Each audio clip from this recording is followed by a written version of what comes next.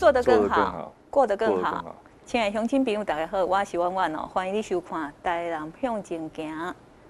台南向前行这个节目是由咱台南市政府制作，最主要目的是要互咱的乡亲朋友大家对着咱台南市政府各局处的业务做一个了解，同时嘛要来给咱的乡亲朋友来报告咱台南市政府上新的资讯甲活动，欢迎收看。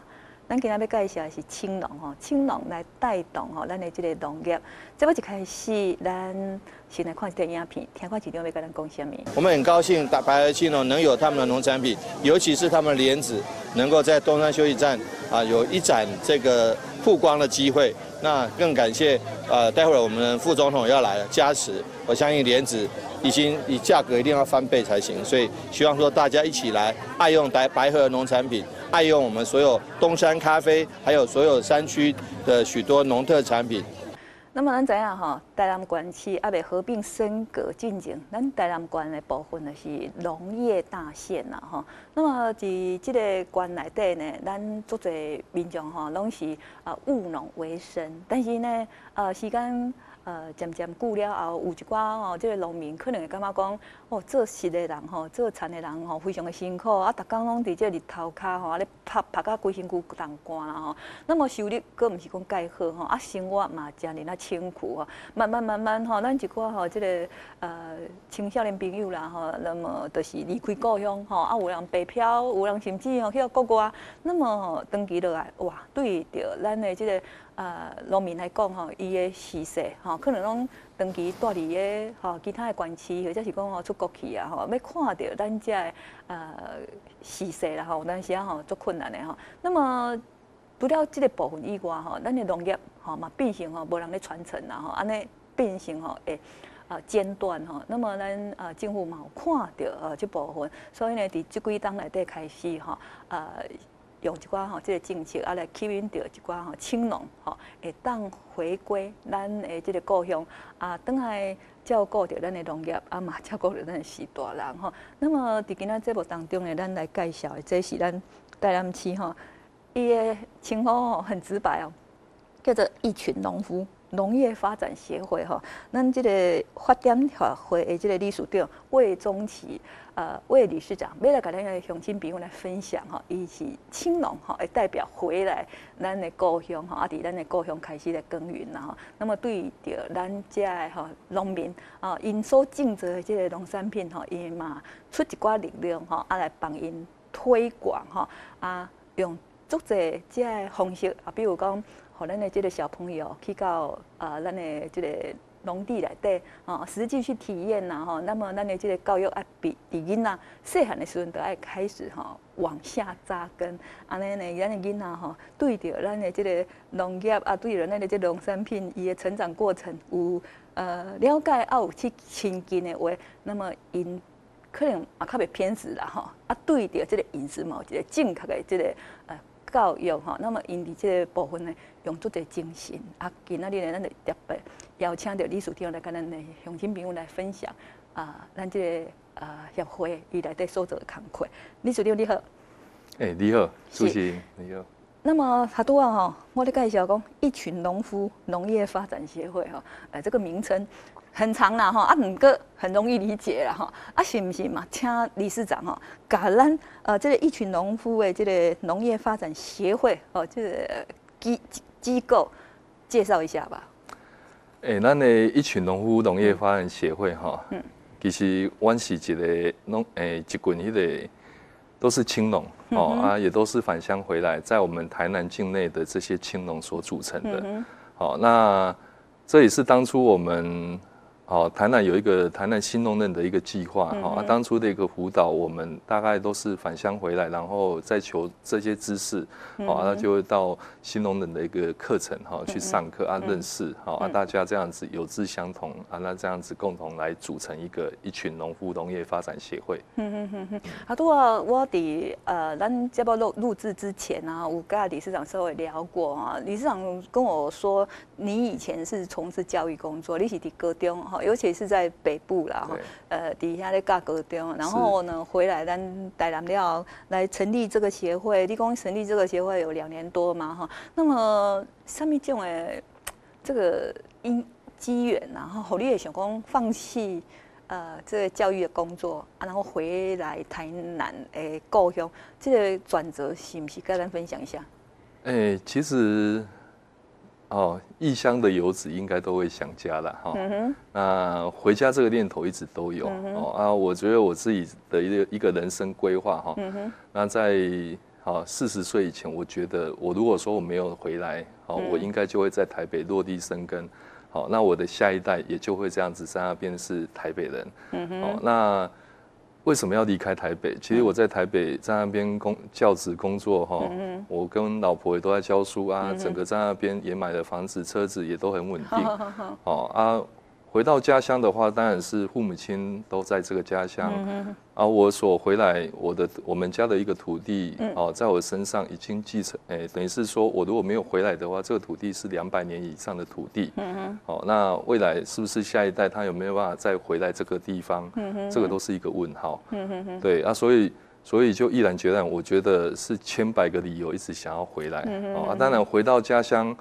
很多。很多这些农村的这些哈金宝啊、家爱人啊哈，大家讲啊，你驾车唔敢要登来做事，嗯其实咱心来是是立志去把农业当做事业经营啊。嗯对啊，就这样一步一步的慢慢走过来哦。其实我们也一直在跳脱哦，农业可以发展的一个面向。嗯哦，其实生产的部分它是一个诶最单纯啊，也是一个那个。最最难生存下去，那我们就发展了很多哦啊，到现在农场我们也都办，然后每个月哦也都办了很多很多的一些活动，让很多人来到农场来体验。嗯嗯，呃，好多我听的历史电话分享哦，突然间我想的文夏先生吼，伊所演唱的迄首《黄昏的故乡》，哦，亲像在叫我的，就是。回到故乡了哈，我想，哎，每一个离开故乡都是因为，应该也是有一点不得已了哈啊，因为生活爱拍拼哈啊，那去到这个大都会哈，像他话咱李处长讲诶，就是讲呃，底下已经有买厝啊，买车，原本一定想讲买到遐落地生根哈，可是呢，呃，想一想，还是回到。家己的这个故乡了哈，那么回来之后，呃，咱来创立这个一群农夫农业发展协会。那么在这当中哈，我知道你们办了很多的这个活动，是不是跟咱分享一下？哎，那其实一群农夫哦，它是一个名词，也是一个动词的哈。那名词的话，它就是一个品牌的名称；好，动词的话就是。哎，农业它必须要一群人一起来努力，哦，没办法是单打独斗。好，那我们曾经这样做过，我以一群农夫的一个架构，我也不断的一直在做一些实验。哦，曾经我把农业切成五个问题。哦，农业的话，你要从从事农业，你必须要有五个条件。哦，第一个部分你必须要有取得到的是土地。哦啊，然后你要有资金，要有技术，要有能力，然后也要有通路。那一般年轻人进到这个产业里面，最缺的就是土地、资金、技术。嗯哼。哦，那我当初我的一个合作模式，我也就是把土地、资金，哦，还有这个技技术给年轻人，然后用合作的模式，哦，来去维持一群农夫的一个架构。嗯哼。哦，然后走到现在一群农夫，哎，我们也走到。哦，比如说直卖所的一个创立，哈，那就是一个共同的一个哦贩售点，我们的一些青农一起把产品放到这个地方，嗯嗯嗯对啊，到现在我们哦，像我们现在有，哎，我也曾经办过一千五百人的一个千人控油，哦啊，也曾经办过的是。五六百人的一个校外教学，那其实哦，平常接的两三百人的也蛮多的。嗯，那我们如果说以师生比的话，一比五十，我我就要找蛮多的这些青农进来协助啊。这些青农刚好在各个领域里面，他们就来协助那一个站，然后去做授课。对，这个是我们的合作模式。是，他多啊，历史有讲到，讲哈，青农要回来哈，因欠的是土地的哈，资金啊个技术。那我就觉得。没竞争，好像这些都是必备的条件。对，那这些条件他都没有，他有什么？年轻，活力。对，其实当初啦，吼，哎，农村的一个缺工，我们很早就大概知道。哦，那台台湾的一个农业的投入农业的一个平均年龄已经到六十三岁。嗯哼。哦，日本更高。哦，那当然已经也走了，我回来已经八年了哈。那是不是有往上再升了哈？那这个能力的一个问题哦，如果说青农愿意进到我们这样的一群农务的一个架构，那也解决我们农村能力的问题。嗯嗯。那进来之后，哦，我们的一个产物也可以更多，我们的面积可以更广。其实，在通路方面，我们也会是一个赢家。我当初是用这样一个架构啊，去吸引他们啊，去吸引他们。对，那那可是我这样子，嗯，也不算成功哦。那要要一直在，诶。因为夏天的那一种，哦，那么早起，那么的辛苦，哦，在那么热的一个太阳底下去做工，哦，去工作，哦啊，还有就是雨季来的时候，哦，那个那么的一个不稳定，其实因为收入，因为辛苦，其实真的很多人是没办法，所以他们有时候也会半途而废。对，呃，这当中我在想，理事长一定。遇到过很多的困难呐，哈，嗯。八年说人说不是很长，但是也不算短哦，嗯，要坚持八年也不容易，那么跟我们分享一下你这段时间来的心理路程，好不？哎，其实其实回乡回来了哈，那过程中从父母亲的一个不谅解哈，这个这个都有了哈。啊，当然回来之后，那一种把所有的金钱投入在我们的生产上，然后哦被那个整个风灾啊，哈，整个雨水泡烂的哈，那个也有啦。哦，啊，农业真的一条是一条真的真的不好走的路啦。哦啊，当然辛苦很多啦，啊，成果很少。哎，对啊，可是。哎，这个食物的一个由来，哦，一定是从农夫这边哦生产出来，哦，农业这个角色，这个这个职业一定要有，对，嗯，呃，他都话李楚天跟我讲父父母的不谅解，我们稍微可以用想象的啦，哈，不要很容易在把你拍扁，啊，主要的做要好好，头路都好好，啊，你想要要倒转来，我直接做到要艰苦死，吼，我就是希望你卖遮尔那辛苦，啊，较好你去台北发展啊。啊，结果你今嘛家己要等来艰苦，那么这个当中，现在父母能够理解吗？诶，到现在其实，哎，他们就是农村的父母亲，其实，在儿子的面前总是很严厉的哈。啊，不过我可以知道的是，从外面外人的一个那个哈回来，然后他也觉得成就感，哎，他也觉得说蛮肯定我们，哎呀，那有办法这样子，然后总是。哦，发挥一些创意，然后制造出一些不同的一个效果。哦，那我们也就把很多东西也这样销出去，这样。呃，其实哈，刚刚理事长在讲的讲父母哈不谅解哈，我刚刚讲其实父母是一种伟大的父母的爱啦。等于讲他希望你在北部发展，他就是希望你很好。你看他宁愿割舍那种亲情哦，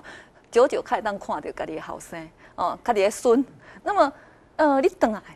照理说他应该很高兴，他每天都可以看到儿子啊，可以看到爷孙啊，爷伯伯爷孙，可以看到媳妇啊。那么大家一起哦，可以一起吃饭啊，哈，这样子话家常哦。可是我觉得父母哈宁愿牺牲这个嘞哈，他他越他想要就是说牺牲这一部分，然后让你在你的事业上五级的赫的话对，但是你回来了，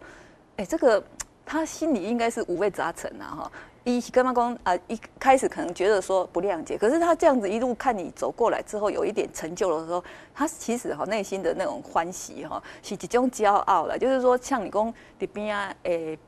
人哈，可能传达给他的讯息，让他觉得说，哎，这个儿子是很骄傲的哦。然后就是说，嗯，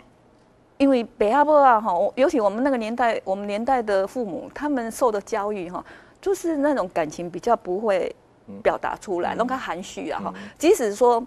他肯定你，他认同你，可能他也很难用他的语言表达出来哈。那么呃，这个当中你会感觉到说，父母会用什么样的方式去表达他们对你的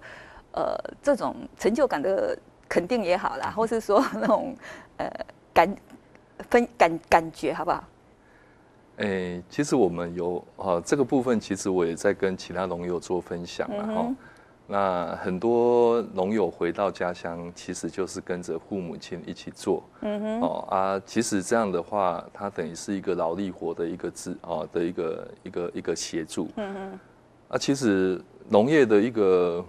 转变哈，其实除了劳力活以外，你应该是要有一些新的一些创意，一些新的一些哦一些方式去哈，才有办法去生存下来啊。当然，这这个我觉得。我回来之后，嗯，我第一年的成绩就，这已经八年前的事了哈，啊就就，哎，我就是主要说的是柳丁，好，然后我就就以行销出发，然后我我也就第一年回来，哈的那一个。哎，十月份我从学校离职，就是七月三十一号嘛，啊，九月底我就办了第一场的活动，啊，也就招招揽了大概网络上面来参加，大概就一百多人，嗯嗯，啊，就来到农场里面，哦，啊家啊乡下的爸爸妈妈他们都很好客，觉得哎我啊你怎么办法网络上找这么多不认识的人来到农场里面，对，啊就来那边做一些。好，那个体验啊，哈，小树苗 DIY 啊，彩绘柳丁啊，然后也就买了很多柳丁回去啊，就这样的方式，慢慢的一场一场，他就慢慢的去肯定。嗯，呃，理事长要做这个决定以前，其实你已经做足准备了，因因为你有做功课啦，好，不是说贸然的讲，呵，我这个西标。就是在这个前提之下，你已经自己已经有构想，或是说有做一些准备，所以你七月三十一号离职，你九月份就可以办一个活动出来，这个你你事前的准备有做到了嘛？哈，那么呃，我在想北阿波的欢乐儿戏，我们比较现实面的生活嘛，哈啊，生活的是讲，哎，我知道说理事长在这一部分哈，像我们有些呃产品啊，哈，那你在这边方面的那个行销哈，呃，这的是好利的。爸爸妈妈的安心的所在，这个不不跟我们分享一分享一下吧。感谢一个主持人给我这个机会哈，那个会当好来推广咱的农产品哈。这这个部分哈，我要先来去介绍的是咱北河哈，咱北河哦就是出名的莲莲花莲子啊哈，啊个咱的莲藕粉哦啊这个莲藕粉这是咱白河青农哈，我们在今年也成立了我们白河青农的一个联谊会哦啊。我们就这些青农，我们共创了这个品牌，以这样一个包装哦啊，当初去创这个部分，因为我们接受到很多消费者哦，就是莲藕粉，大家知道好，可是不会去使用它，不会去泡它，哦，不会去煮它，那我们就哦诶想要制录一支哦一支影片，教大家怎么去啊使用它，然后我们就结合一个 Q R。好啊，这个 Q 啊，我们想说，哎，那要找哪一个美女来拍？哦啊，结果想来想去，好像啊，我们来找市长会更合适。好啊，刚好找帅哥啦。哎，就是我们的黄市长哈啊，他也很热情哈啊，就是帮我们录制一一段哈，教大家怎么去泡藕粉。所以用手机 Q R code 一扫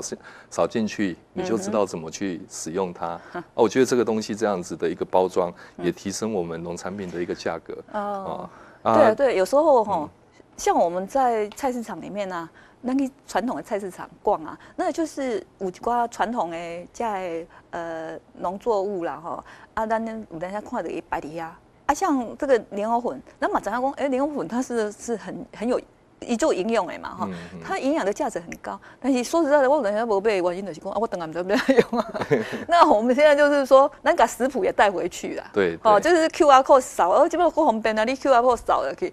那个影片就跑出来了。对，是哦，你慢慢那么看，哎，第一个步骤，等等等等等，第二个步骤，啊，你的快一者，啊，你的对操作的，呵，现在就很方便了哈。所以有时候就是说，配合现在时代的趋势哈，这么人不会的时间哦，聊聊慢慢来啊。就是说，你你影片好一哈，然后你就附在上面了哦，你直扫 R code 进去，你看的些影片你都会像啊，哦，不用花很多的时间啊，慢慢花很多的劳力哈，因为大家用这个时代哦，大家都很忙啊，不会时间慢慢的来，啊，我们已经帮你都什么都弄好了。那独料工莲藕粉伊瓜，我们桌上还有很多的产品呢，是不是再跟我们介绍一下？哎，农场主要作物有哈，就有三大类啦，哈，就是柳丁嘛，哈，啊，我们稻米跟莲哈莲产业哈。啊，这个的话是哦，我们的柳丁下去做的一个甜橙和风酱跟风味醋，嗯，好啊，这个这个后面的这个包哦，就是这个包装哈，其实我们诶在二零二零年的时候，我们也拿到了那个全国农渔会的一个百大精品哦，是，对，这个是真的很不简单哈，可以就是以我们单一以青农的一个身份去参加这个啊，有办法入选那全台湾一百个产品，哎啊，莲藕粉的话，其实我们也有得到一个农村好物的一个奖。对啊，再来的话就是我们的米，哦啊有我们种的白米跟黑米，其实我就把它变化到六个产品，哦啊，因为每个人的一个使用跟哈他的需求不一样，我们就有六个产品，哈让大家去那个啊，再来的话就是，诶像这个的话是我们哈玉米啊玉米的话这是爆裂型的玉米。很可爱，哎，我们就去，好，这个是爆米花的品种，嗯那我们一整根，好，涂上奶油，放到微波炉面就可以直接爆，嗯啊，其实这个部分一刚开始其实都是以农场的一个趣味活动，我们去做这样种植，然后带领这些学员，哦，因为常常吃到爆米花，可是他不知道爆米花长怎么样，对，那我们带他去采爆米花，然后去做这个科学实验，哦，然后就这样子，哦，啊，就一整组，哎，也蛮特别的。对啊，啊，生鲜产品今天就没有带过来了哦。啊，农场里面我们也有一块土地，就专门是以食农教育哈，在做做种植的，像萝卜啊、地瓜啊、哦花生啊、哦很多很多，我们种了一二十种以上，啊，让大家可以来那边种植啊，那边采收，采收起来之后，我们的农场有传统那个短灶啊去做料理，就像我们这个月我们进行的是那个。那个藕龟挑，哦，我们结合社区妈妈哦，然后就是去让学员去采那个藕啊，啊上来做藕龟挑，啊，藕龟挑传统的一个做法就大概一个是月亮的一个半圆形，啊，我们的藕龟挑我都跟我们的学员这些孩子啊，这些城市来的这些妈妈哈，我说我们今天要做创意的，啊，他就会。做出各种不不走不同的一个造型的创意，大概的脑力激荡。对啊，甚至还有农村，他们来到这个地方哦，农村的阿公阿妈哦，哦啊，他们平常在家里面的农为者嘛，哦，过节的时候，我讲今仔日来家做乌龟壳，你袂当做传统诶，你爱做创意诶，啊叫阿公我创意在不？啊做几副麻将衣啊？哎那那我会，他们是怎么想出来的？没有，但是我们一直一直在计划，就是你除了原本它的面貌是什么，啊，我们去怎么去怎么去突破，啊，其实这个就是一个好玩嘛，啊，就也好吃嘛，啊，就这样子，啊，农场里面像我们下个月我们就进进入了我们莲藕粉的一个采收嘛，那我们主题会是在抛哦，就是洗藕粉，哦啊，就是这样子的一个，诶，还有。比如说蜜蜂导览啊，哈，这个一整串的一个一个流程。呃，传统的农业哈，就是讲哈，人工锄禾日当午啊，汗滴禾下土。嗯。那个农夫的洗做辛苦，底下太阳底下哈，啊，真的是那个汗水就这样子滴下去哈，然后一直种植，一直种植。啊，那是呃，这个多喝哈，人工喝泥当然后无红菜是没有，那那当然很好了哈。啊，但是人家多了几个红台哦，有时候来哇。这个所有的心血哈，都付之一炬啊哈。澳大利亚有像天气上好，嘛是够有一个困困掉。哎，这个丰收，丰收也不一定是好事，有时候等于那个农产品的价值哈就降低啊。啊，所以哦，这个这个农夫哈真的是太辛苦了，辛苦竞争起来这个农产品哦，它不一定能够达到它真正的价值哈。哇！没好啊，不是啊，没败啊，不是哈，真的是很辛苦哦。那么就是要加上一些附加价值啊，哈，像他都啊，那理属对哦。我老公，哎，我们理事长哦，他们在这一方面的行销哈，在创意好像就是会有一些要怎么讲？好，我公就是与生俱来，还是说你从小跟这些农产品在一起，然后，哎，就是自己激荡出来的火火花哦，行不行？跟大家分享一下。诶，其实我觉得我的人生里面哈，咱较早可能不爱读册啦 不爱读册个做老师。诶，啊，我就是体育啊，拍球波上，吼，啊，我嘛去读个硕士，哦，啊，等来，其实一路过程中，我一直在，就是我们，我觉得我不是一个循规蹈矩的人啊，哈，有时候就是很喜欢异想天开。嘿，啊，咱都会去做出做最佳的物件哈。嗯，机装。无可能的代志，咱开始想到有可能，啊，迄就是变成是咱会当去诶，别人无法度去敢出代哦。就像我们今年疫情，哦，那刚好。在七诶六月份哈，进入疫情，整个都都都是封闭嘛。那农场我们也没有办法再办这些体验活动。那我们要走别的出路。啊，那个时候刚好我们白河的莲子刚好盛盛产。啊，我想啊，这海呀，光没安诺，因为白河莲子很多游客会到白河里面啊来观光哦，顺便买莲子哦，赏莲花。那我们就会在那个时候，我们就刚好在那个时候，我们就去开一个。哦，线上的一个课程，嗯哦，在当时我要开线上的课程，我解决两个部分的问题。第一个就是我们产产地，人诶人力短缺，无人。倘若甲人备连器，我想讲，哎呀，这个连器我若寄互消费者，啊，我该拿安怎来备？啊，消费者因嘛拢关伫咧厝。对啊。哦，啊，我的打发时间。哎，脸上我就是这个主题，我就写联手防疫，莲莲子的莲，啊，让他们在家里面剥莲子，啊，我们录大概自己哈用手机拍的一些影片，大概十支影片，我们就是网络上啊去教导啊，然后就这样子让他们哎去认识这个莲子，更了解粒粒皆辛苦。啊，也造成轰动轰动，哎，因为全台湾所有的农场都没办法办活动，我们这边 还在活动一场接一场。对，啊，我们大概我们前后办了四场，哦，每个梯次我们锁定大概四十哦多个家庭，那等于是如果说以平均一个家庭四个人的话，我们大概也差不多有八哎七八百人来参加，嗯哦，那很多嘞。哎，原本来农场参加活体验活动，大概是我们台南、高雄、哦嘉义、哦台中这些哦，甚至屏东也有。嗯啊，我们线上的这个这个课程一开下去，哇，好大台北地区连台东花莲都有人来参加呢。人家说哈，危机就是转机了哈，啊，机会是留给有做准备的人哦。呃呃，李市长刚刚跟我说哈，一个一个他常常这样子哈，坐在。修当修塞啊，那那些修哎，可能就是放在大脑里面当做一个库存。那有机会，今天刚好哎，疫情来了，以前想到的东西，现在就把它发挥出来。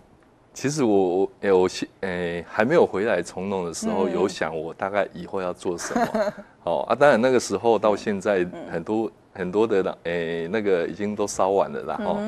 啊，现在我们就是随着疫情哈，就像我们现在哦，网络上面一直在炒的是五倍券。哦。那我们在想说的，我们怎么来抢五倍券？哦？那变成如果说在农场消费，我们把它变成哦那个七倍券、八倍券哦，这个也都是一个哎啊，就就就现在是哦那个等于是。现在的大家关注的议题是什么？那我们就会往那个方向，我们的农产品有没有办法去跟它结合？嗯，就是嗅觉要很敏锐。对对对。呃，今天很高兴哈，咱请到咱宜群农夫农业发展协会理事长哈，咱魏忠奇理事长来跟我们分享这么多了哈。最后，我们用一点点的时间，我们做个结尾，好不好？诶，感谢哈，我这个有机会来家来做这个哈，这个这个节目哈啊。当然吼，我嘛要鼓励咱少年人啦，讲你即马伫咧市内吼，有机会真正哦，咱的庄卡需要你，哦啊，等来哦，咱的庄卡即块土地，哦，我相信若讲即块土地，你若无等来，吼啊，家己的后一代可能土地嘛，豆豆啊，你会愈来愈疏远啦，哦啊，台南咱是一个好所在啦，吼，咱希望讲，诶，起来起来嘛是咱庄卡人去遐聚集啊，吼啊，现在。我们回到乡下，哦，那我希望的是，我们可以带领一一波哦，然后让那个都市的人以后他也会向往到乡下。哎，啊，当然做哦，做是哈做哦农业是真真辛苦，啊，我的目标哦，咱会讲去做甲咱的这个哦有迄个生活品质，我相信安尼会好足济人和老市人更加欣赏。是，那么吼，咱位理事长吼，伊是咱青龙的这个拓荒者啦吼。那么今日你的分享这济吼，感谢咱乡亲朋友的收看，我是万万让咱大家向前行，我们下次见哦。